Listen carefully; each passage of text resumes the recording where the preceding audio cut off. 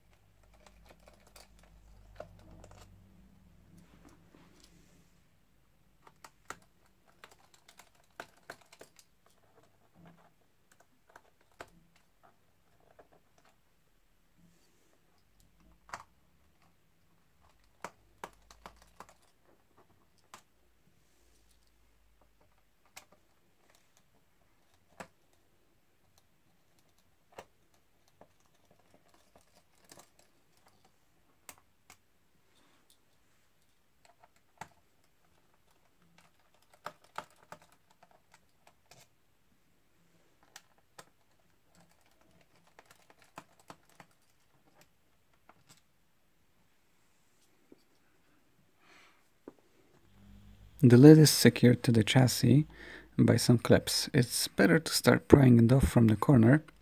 You can use a card or some flat plastic tool to make it easier. Remember not to pull too hard. If it doesn't come off, just try another place. It will come off eventually.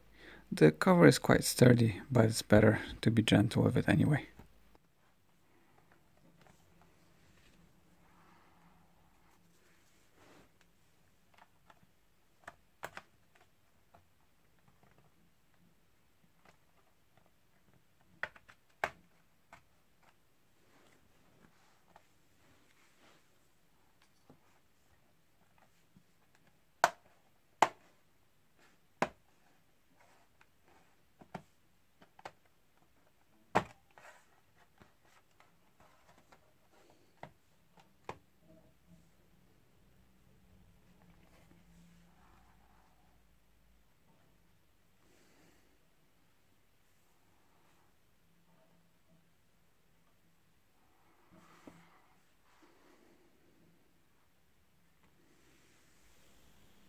So as you can see we got space for two drives.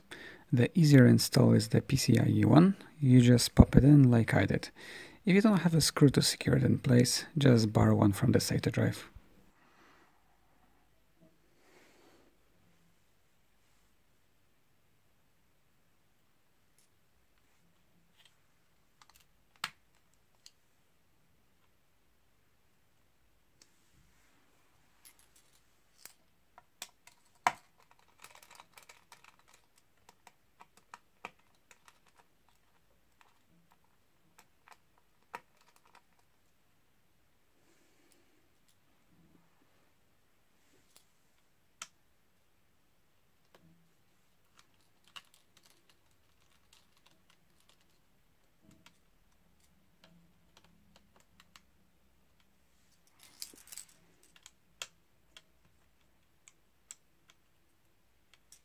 The hard drive is in an enclosure that's held in by four screws. After removing them, you can slide the hard drive out gently by pulling it downwards.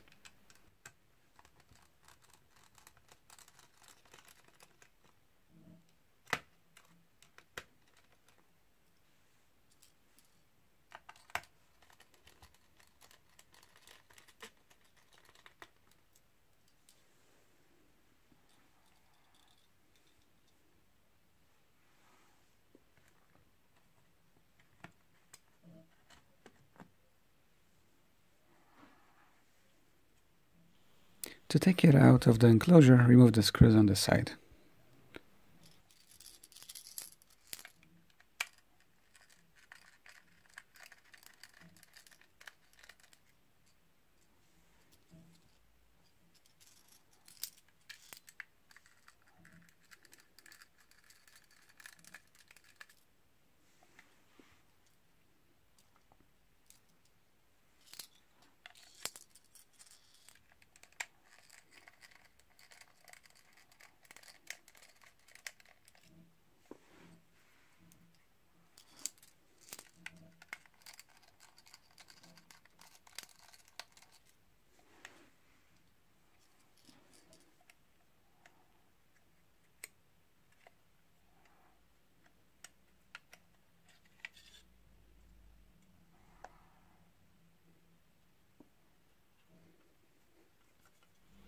Before inserting the SSD into the enclosure, make sure it's in correctly so you can plug it into the SATA connector.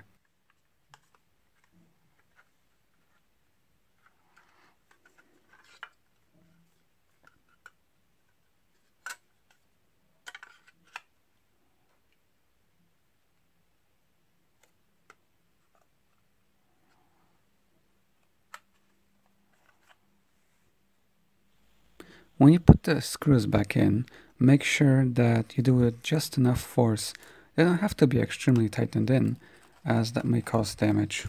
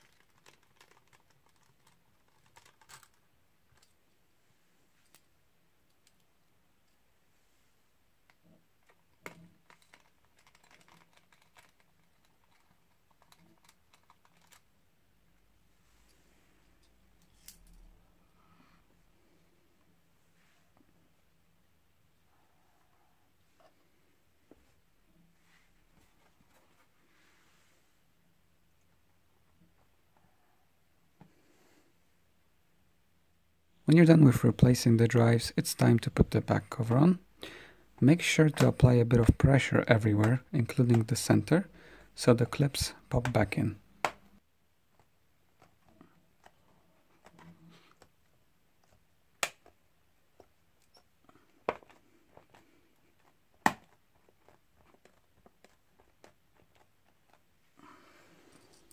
Remember not to tighten the screws too much, so it doesn't cause damage to the chassis.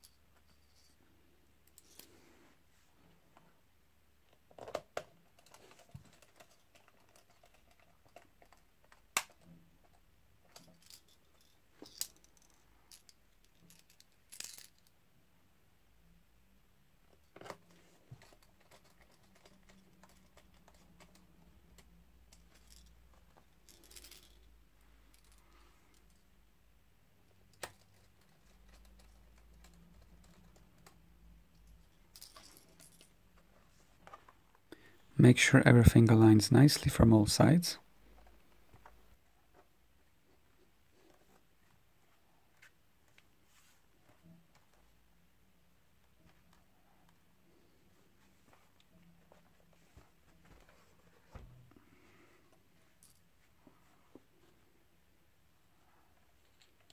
It's a good idea to put the hard drive in an external enclosure, preferably a USB 3.0 one, as those offer quite nice speeds.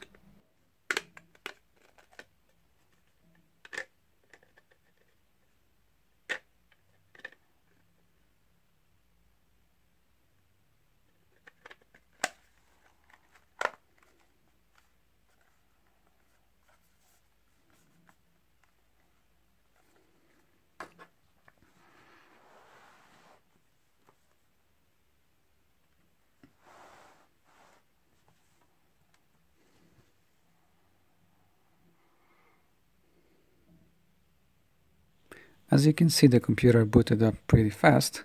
I got the OS on the PCIe drive.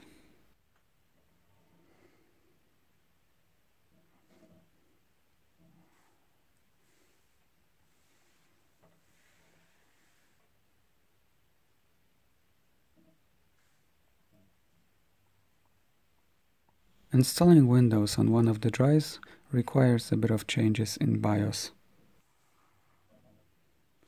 Entering BIOS is quite simple.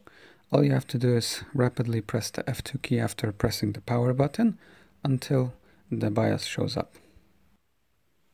First go into the boot tab and disable fastboot. After that go into security and disable secure boot control.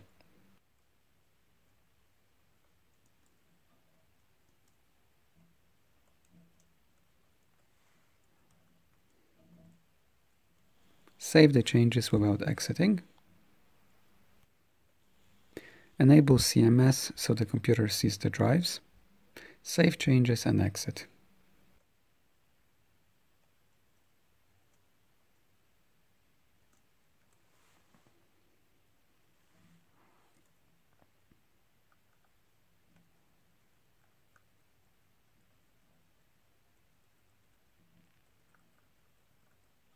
As you can see, we have the 850 drive in here now, so you can change the boot order if you like. Now, there are two ways of installing the drives. If you want, you can install Windows by making a bootable USB stick and set that as the first boot option. All you have to do then is pick one of the drives during Windows installation. They will both show up. You can also copy all files using the Samsung Magician software, but that will work if you're moving from the hard drive to a PCIe drive because you need to have both drives in the computer. I recommend a clean install and moving files from the hard drive through USB after buying an enclosure. That's the best way to do it. Okay guys, that's it for the video. In case you have any questions, give me a shout. I'll see you in the next one.